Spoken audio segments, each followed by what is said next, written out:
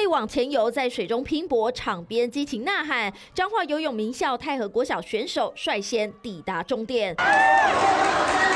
十二名选手在县长杯游泳锦标赛摘下二十二金五银五铜亮眼成绩，却也是代表太和国小出战的最后一役，因为他们的家长力挺游泳教练，决定帮孩子集体转学。其实是教练不愿意待，我们才决定转学。我们不是说好的，因为我太舍不得了。我每次看到那些，我都好难过，超难过的。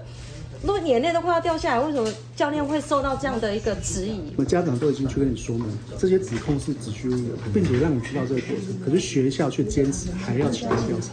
三名带队八年的教练接连遭受黑函攻击，被影射中饱私囊、私德上不当，谣言四起，教练群不堪受辱，决定带完县长杯比赛后一起离开。你们会觉得很很舍不得？超会，这样我们成绩有可能会退步，然后得不到全国第一。遭指控的教练感叹，带队八年来自认问心无愧，全力以赴，无奈等面对不断的攻击，让他身心俱疲。一些黑行就丢了，就觉得很累啊，就先休息啊。那我说跟他们，然后这个也可以还你们清白啊，也可以把离经事实的真相。那他们觉得说受辱。游泳队瞬间灭团，校长表示已经招聘新的救生员及教练，只能无奈送别这一批游泳队常胜军。祝福他们在下一站继续发光。三立新闻许淑伟、张浩报道。